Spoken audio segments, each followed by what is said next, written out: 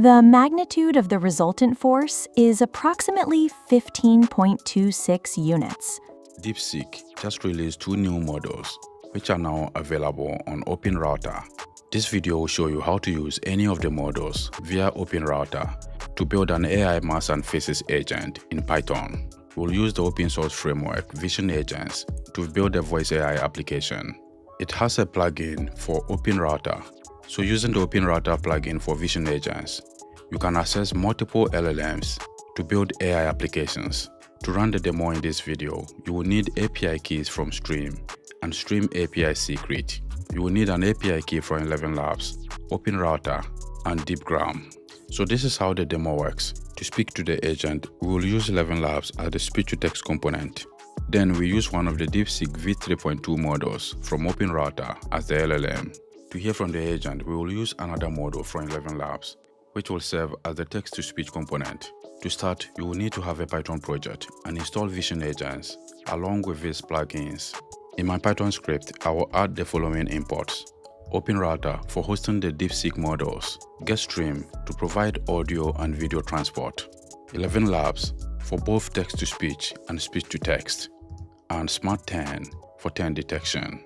Next, I will define an async main function and initialize the model we want to use.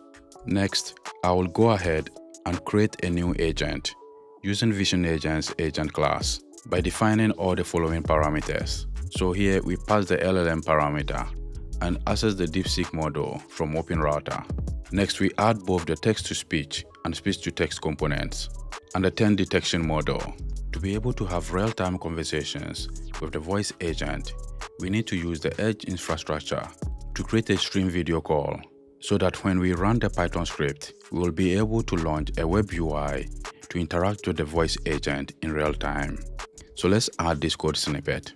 First, we create a new video call and also join the call and keep it running until the user ends the call. The last thing to do is to launch the agent. I'll bring the terminal and run the script. The magnitude of the resultant force is approximately 15.26 units. How did you get that? I used the law of cosines. First, I found the angle between the two vectors. 180 degrees minus 25 degrees equals 155 degrees. Then I plugged the values into the formula.